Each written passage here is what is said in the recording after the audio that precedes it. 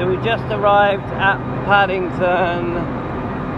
It's the 9th of July 2021 for my birthday. This is my family in front of me. Tino is a year and two months old, he's asleep. So, yeah.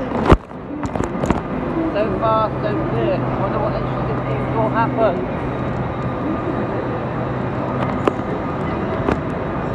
I know.